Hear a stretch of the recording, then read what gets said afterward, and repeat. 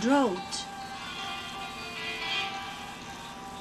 I cannot logically explain my lust for you anymore. It is annoying, unbearable. I feel my body and soul depend on something like persistence. Approaching with affection and after the win over, absolutely outraged, it stabs its dagger in my back. All my principles broken up. I fell for you. You hear? I hate and curse people only because they manage to wrest a piece of my hold on your soul. I covet insatiably to be the only one. I am incensed you should exist for others. Meanwhile, the drought dries my leaves and they fall. I often find masochistic delight in analyzing and editing feelings. I cannot justify it anymore, do you hear me? It is such an oxymoron, and I see no reason. My carnal needs were always just an excuse.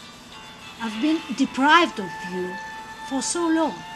My pleasure through you has already ended. Why do I insist and what do I hope for? How the souls are attracted and why? On what absurd excuses and forces are they kept then away from each other as if they were flammable material? Why am I no longer with you?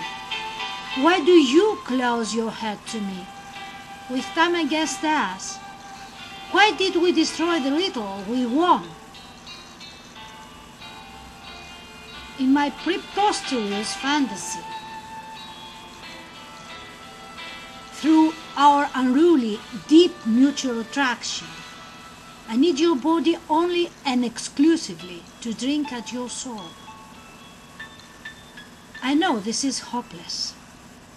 The needle is often stuck in what I've been waiting for centuries, even when the song has already ended. Copyright 2012 by Chryssa Velissariou, edited by Chouchou Maldemer, dedicated to my Chouchou.